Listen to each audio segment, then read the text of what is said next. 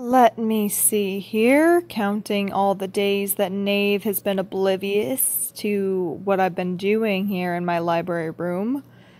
I'd count about 110, so far, at least.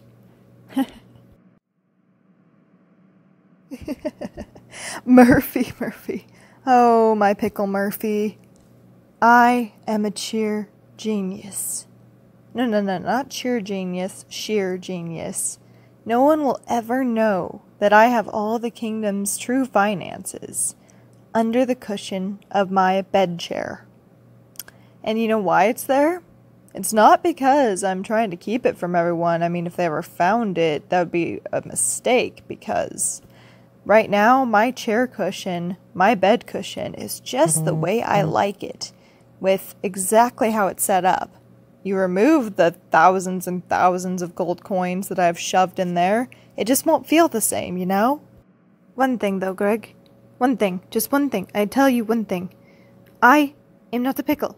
Once again, we we discussed this. I am part dinosaur, half dinosaur, half human, and I am not your pickle.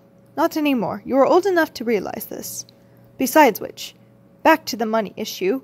What you're saying is the reason you have not given money to anyone, anyone at all, is because you are comfortable sitting on it. Am I correct in assuming this? Sitting and sleeping on the money is the only reason it is where it is now. Yeah, and I uh I believe that's what I just said down to the letter. So uh yeah, no, the kingdom's finances are basically the only fucking cushion this chair has when I go to bed at night or when I'm sitting in it because like I said before, God forbid the king give me an actual room. I'm stuck in a fucking library. Of course I'm gonna be rebellious about this. Steal the kingdom's money, shove it in my chair cushion. We all good. So what you're saying is I'm I'm getting very confused here, Greg. Greg, Greg, Greg, listen to me. Listen to me. As your half dinosaur servant, I must advise you against this. It is very nonsensical. What if Knave was to come in here and find this? I do not even know how he would react, but it would not be good. Knave might kill you if he knew you had the money to pay him this entire time and have not paid him. Wouldn't it simply be better to take out what you owe him, give it to him, and avoid a possible overthrow of your kingdom in the future when you become king? Because, as you know now, you are the rightful heir to become king, and it is inevitable that one day you will take the throne. Just let him try to kill me, Murphey. Just let him try. I would love to see him attempt to come to me and demand his money. Because if he does, I will play stupid like I always do. I will use my money when I want to on mascara, and, well, then I will offer him the money, but always avoid him getting it. Because paying him would defeat the whole purpose of pretending that I paid him in my company and that I'm broke and I don't earn shit here.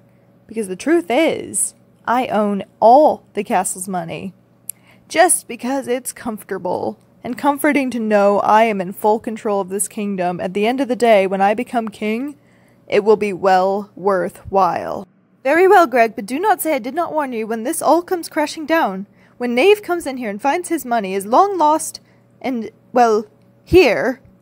Oh, I, I dread the day. I dread the day. And at that day, when he finds out and you die for it, do not come crying to me because you will be dead and you will be unable to cry to me. And now I'm just making absolutely no sense because I'm that scared of what will happen to you when he finds out. I've known you since you were little, Greg. I do not want to see anything bad happen to you, Greg. Well, the only thing that's going to happen to me is I'll be the richest and most wise king in all the lands. And we will have an endless supply of mascara to hand out among all the citizens if I so choose to share it. Wow, Greg. Just wow.